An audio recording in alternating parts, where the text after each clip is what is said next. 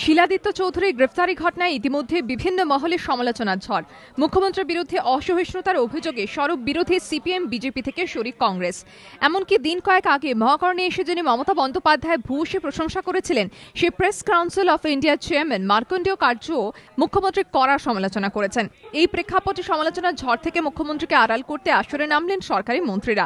শিলাদিত্য চৌধুরীর গ্রেফতারিকে যুক্তিযুক্ত দাবি করে পঞ্চায়েত মন্ত্রী সুব্রত মুখোপাধ্যায়, নগর উন্নয়ন মন্ত্রী ফিরহাদ হাকিমের দাবি কুৎসার হঠাতে এই ধরনের কথা বলা হচ্ছে। সেই সঙ্গে শিলাদিত্য সমর্থনে যারা এগিয়ে এসেছেন, তাদের বিষধর বলেও পাল্টা তোপ দেখেছেন তারা।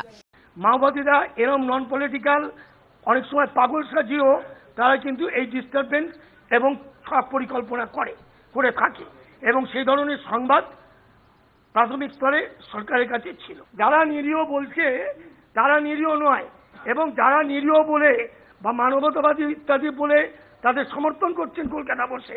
তারাও নিরীহ নয়। তারা বিষধর তারা বিষধর একে সমর্থন করার জন্য যদি মানে আমি বিষধর চিহ্নিত হয়ে আমি বিষধর হতে রাজি আছি। কিন্তু প্রথমত এটা। দ্বিতীয়ত হচ্ছে যে আমি তো বলব তাহলে কি মাওবাদীদের একটা পরিবর্তন হয়ে গেল?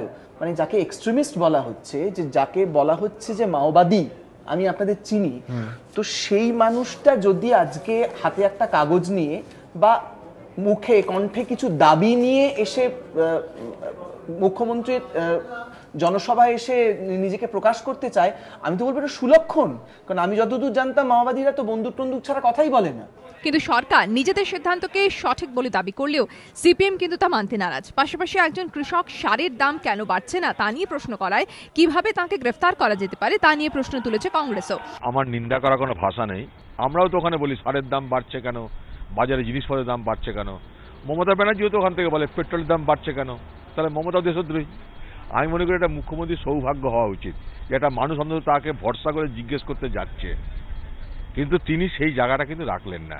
শিলাদিত্যের মতো যুবক তাদেরকে গ্রেপ্তার করে নিয়ে যাওয়া, এই ধরনের ঘটনার রাজ্য বামফ্রন্ট তীব্র নিন্দা করছে। সব মিলিয়ে শিলাদিত্য চৌধুরীর গ্রেফতারিকে ঘিরে রাজনৈতিক চাপানুতর তুঙ্গে। আগামী দিনে জল কতদূর এগোয় সেদিকে সবার নজর। দীপক ঘোষ বিতনু চট্টোপাধ্যায় ও সুমন ঘরায় রিপোর্ট এবিপি আনন্দ।